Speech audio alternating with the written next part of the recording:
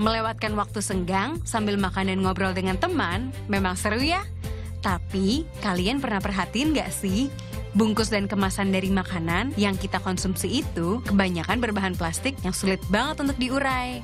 Padahal, limbah plastik ini bisa jadi ancaman besar di masa yang akan datang. Ada salah satu postingan Instagram MLD Spot yang menarik perhatian gue. Terdapat startup yang menciptakan produk ramah lingkungan dan juga bisa dimakan. Namanya Evoware. Gue pun berkesempatan untuk ngobrol bareng David, CEO sekaligus penemu produk inspiratif ini. David terpikir untuk bikin produk EvoWare ini karena keresahannya melihat keadaan lingkungan yang makin tercemari oleh limbah plastik. Kenapa namanya tuh EvoWare?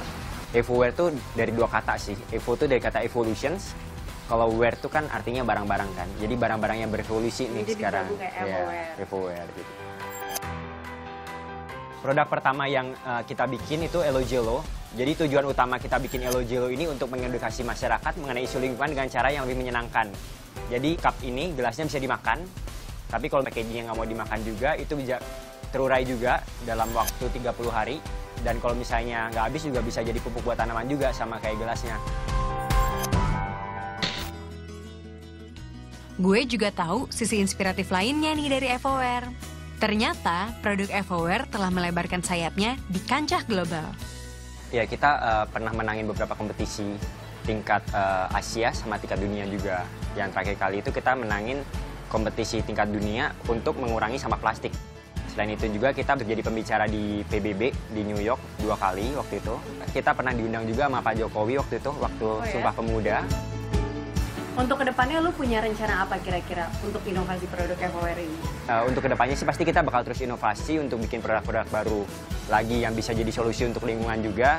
Tapi nggak lupa juga saat yang bersamaan kita pengen supaya inovasi kita ini bisa ngebantu dari segi pemberdayaan ekonomi juga ke masyarakat yang kurang mampu juga. EvoWare menginspirasi gue bahwa banyaknya permasalahan di sekitar kita bisa ditangani dengan langkah-langkah kecil yang dimulai dari diri sendiri. Jangan lupa ya untuk menjawab kuis trivia tentang episode hari ini melalui sosial media Emily Spot dan menangkan hadiah inspiratifnya. Get yourself inspired by Emily Spot TV.